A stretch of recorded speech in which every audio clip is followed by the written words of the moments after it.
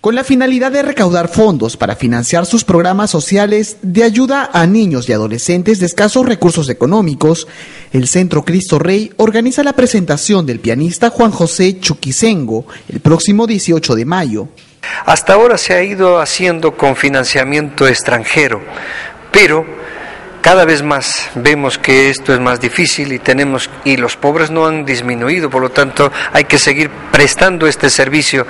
El 90% del presupuesto del Centro Cristo Rey proviene de las donaciones que la congregación jesuita recauda en el mundo, pero debido al crecimiento macroeconómico en el país, las donaciones extranjeras son destinadas a países con mayores índices de pobreza. Decimos cifras macroeconómicas que han disminuido los pobres, pero en Tacna vemos que siguen viniendo gente y encontramos niños que necesitan esta atención.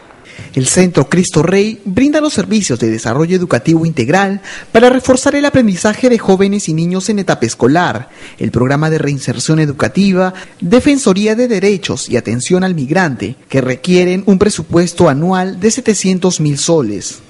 nosotros tenemos atenciones 350 niños al año y son familias también, indirectamente son los padres y mamás que vienen y participan de los diferentes programas. Tenemos no solamente Tana, también tenemos en Hilo otra sede, por eso que el centro este año hemos crecido y somos más.